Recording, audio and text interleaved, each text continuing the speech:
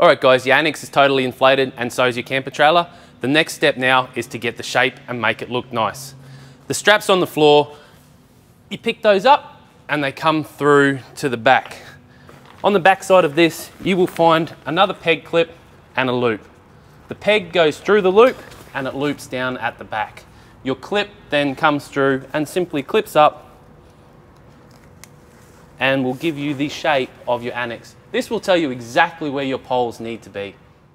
You've got your pole in position vertically. Now we're looking for the lateral shape of the camper trailer annex.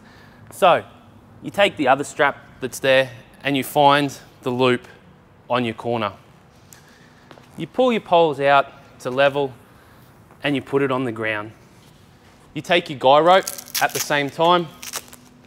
That comes down and is going to peg through the same loop. For this purpose, we're going to use a sandbag. You bring your strap back to the rear pole and it clips in. After that, all we need to do is peg out this rear pole. For that, you're going to use your peg ladders. To attach your peg ladder to any pole on your camper trailer, you simply find the corresponding grey clip on the base of the pole, take your peg ladder and clip it in. You can then run your peg through any loop that you so desire. For that, we use and recommend the Easy Anchor pegs. Everything you've just done down this end to give your annex the shape, you simply mirror down the other end. The center strap, we'll come back to that in a little while. First, if you're going to use your draft skirt, we'll attach that at this point now. To attach your draft skirt, you simply pull the legs of your doors out, peel the straps off the back, and Velcro them through.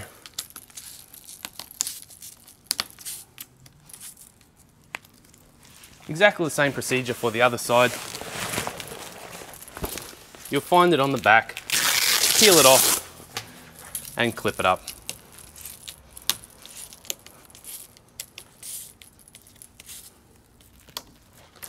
I always store the draft skirt just inside the door, makes it easy to grab, quick and nice. Unfold your draft skirt, find the right sides, and what we're looking for is the zip lines. To attach your draft skirt, there's a zipper underneath this side. You simply zip it up down through this way.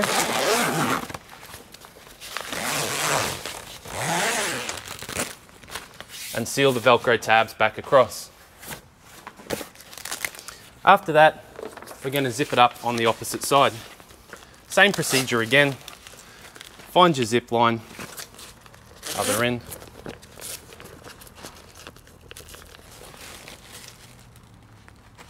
And zip it through. From here, to get the best shape, you need to seal around the door first. If you seal in your ends, it will pull up through this hinge and you'll have trouble opening your door. So, we simply get our Velcro, we start at the bottom, get the shape you're looking for, and Velcro it across. Then you Velcro your door back over the top. Repeat the procedure for the other side. Velcroing your door back across. We then simply Velcro in the ends. You will find this tab comes up and underneath here, and then we seal straight in down through the Velcro line. We do the same again at the other end. We take our Velcro line, we put our tab up, and we seal it down through. This is going to give you the perfect shape of your draft skirt. And this brings us back to our center strap. The center strap is going to clip in behind the draft skirt just in front of the wheel. You come over and you pick up your center strap, you pull it through following the same procedure as all the others. In behind is where you find the clip, you peg the loop down to the ground and you simply clip your strap up. Your annex now has the perfect shape ready to attach all your walls and doors. Attaching your end walls. To attach your end walls, first make sure the fly screen is pointing out. From there, find the end of your zip line and you're gonna start at the bottom corner of your annex. Pull it in, come down and attach your zip. Your zip comes up and through.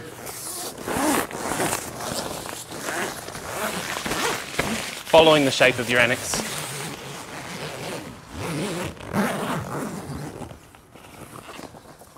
From there, it's a simple matter of closing off your Velcro tabs.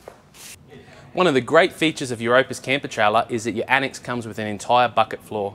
This means that no matter how bad the weather turns, you can seal yourself off in here and be safe and dry. And let's face it, you don't always want to go home just because of a little bit of rain. To put in your floor, you simply lay it out and find your Velcro line and match it up around the outside of your annex.